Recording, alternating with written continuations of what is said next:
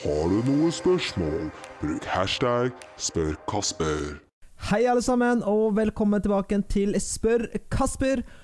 Og eh, i går så var det jo julaften, så hvordan hadde dere det på julaften? Og hva spiste du? Du fikk du det du ville ha til julaften? Fordi jeg storkoste meg på julaften. Men eh, la oss eh, starte med spørsmålet. Første spørsmål kommer fra Odin. Han spør Liker du CSGO og Minecraft.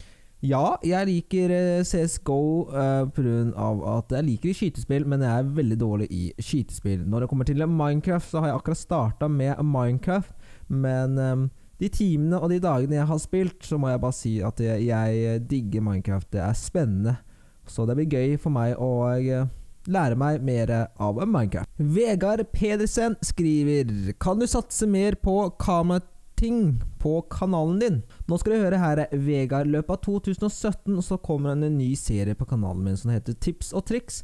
Der skal det være egentlig mer fokus på å vise fram utstyr, lære dere hvordan ting funker, og redigering og videre videre. Så om det her går veldig bra, så kan jeg kan laste det der litt mer oftere. Og at jeg begynner med to dager Altså to videoer daglig. Men vi får se. Men det er i hvert fall eh, planen jeg har med serie i løpet av 2017. Aksel Moe skriver Kan du bruke green screen-effekt i Spør Kasper? Green screen-effekt, her har du det. Da-da, da-da-da-da.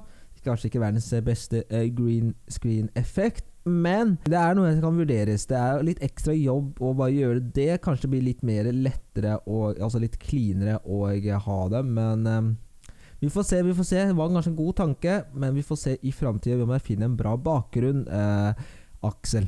Nomoe skriver Hva er favorittdyret ditt? Mitt favorittdyr er faktisk skilpadde, akkurat samme som du har på avataren din. Eh, jeg liker skilpadder pga. jeg syns bare de ser litt kule ut, og så syns jeg at eh, de er søte i tillegg. Jeg har hatt en rødøreterapi eh, for noen års år tilbake, da. Quit skriver PC til 80 millioner eller ei pen dame. Nå har jeg en pen dame. Det er veldig lett å velge da en PC til 80 millioner. Hva man skal med en PS til 80 millioner, det vet jeg ikke, men det svarer vi. Rock That Clock skriver Hva syns du om Truescraft og Minecraft generelt? Er det gøy? Truescraft er en veldig bra service, syns jeg, Rock That Clock. Jeg liker hvordan den er satt opp. Jeg syns også at uh, dere har gjort en veldig bra jobb. Uh, jeg gleder meg veldig til at uh, når minigames kommer opp, for da kommer jeg til å spille det veldig mye. Uh, når det kommer til Minecraft generelt, så er jeg jo veldig ny i Minecraft. Jeg har jo sagt at jeg ikke likte Minecraft, at jeg ikke forstår helt hvorfor folk liker Minecraft, og at Minecraft ikke er helt meg, for du må bygge. Men å, men å sitte med en Minecraft noen par timer og noen par dager, så må jeg bare si at Minecraft er spennende. Uh, nå er jeg så dårlig i Minecraft, så jeg må jo øve meg, og jeg merker det at folk uh, måtte slenge litt dritt akkurat at jeg, at jeg er dårlig, men jeg vet det. Men uh, generelt så syns jeg at Minecraft er uh, spennende, og jeg forstår at folk spiller det. og det er morsomt å se hvordan ideer folk har i hodet, som da får det ut i Minecraft. Anders Langedal skriver Hvordan får man tak i årskort på Mac-en? Årskort på Mac-en? Går det an? Jeg visste ikke at det gikk an, men jeg aner ikke. Sorry, altså. Jeg vet ikke. Photocam TV skriver Når kommer den videoen ut om ka kameratips? Den nye serien min kommer i løpet av 2017, litt pga. at jeg venter litt på en klagesignal av noe. Eh, hvis det går igjennom, så blir det veldig mye kult på kanalen min.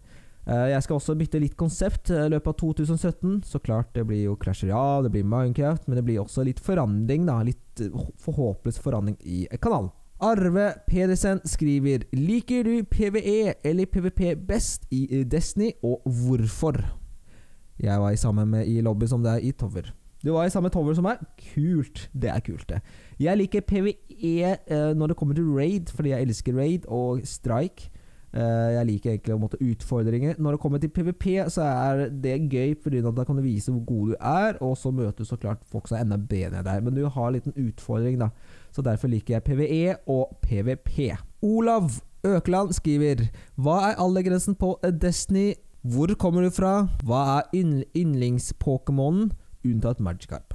På Destiny så er det 16 år aldergrense, hvis jeg ikke tar helt feil. Jeg kommer fra Thailand, men jeg har bodd i Norge hele livet mitt, så jeg er jo norsk. Så helt norsk, selv om jeg har utenlandsk utseende, så er jeg norsk. Når det kommer til favoritt-Pokémon, så er det nok en Magikarp. Jeg vet at du skrev unntatt uh, Magikarp, men jeg har ikke noe andre uh, Pokémon enn Magikarp som jeg digger. Theodor Stammes skriver Hva er yndlingsbrusen din? Nå skal du høre her, Theodor. Nå drikker jeg veldig mye forskjellig brus, og jeg kan drikke alt slags brus, men i det siste så har det blitt veldig mye cola. Uh, men jeg har drukket veldig mye Urge. Uh, Favorittbrus Jeg er litt uh, Jeg vet ikke. Det, altså, jeg, jeg, er veldig glad i iste, men jeg er jo ikke brus, da. Så ja, jeg liker all slags brus. Det er det eneste jeg kan si til deg, Theodor. Alt slags brus. Det var alle spørsmål får i dag. Jeg håper du likte det. Hvis du gjorde ta og lik video med en hashtag tommel opp. Kommenter ned i kommentarfeltet med hashtag spør Kasper med ditt spørsmål. Ikke glem å trykke på abonner hvis du ikke har gjort det, fordi det kan jo bli en del av Linselystne. Så snakkes vi til neste gang. Ha det.